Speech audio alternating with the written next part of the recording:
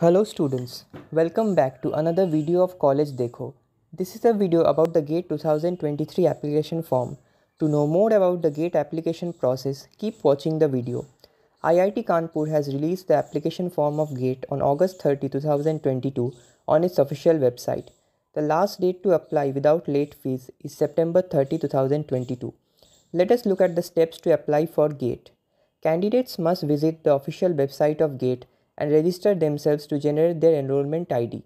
Candidates have to fill the GATE application form with their personal information, including name and date of birth, as well as their educational details. They are required to upload the necessary documents as per the specifications mentioned by the exam conducting authority. Candidates must thoroughly check the application form before submitting it, as no changes will be allowed in the application form afterwards. The final step is the application fee payment which has to be done in online mode. Candidates can check the category wise application fee of GATE exam from the table. College Dekho wishes you the best of luck for GATE 2023 exam.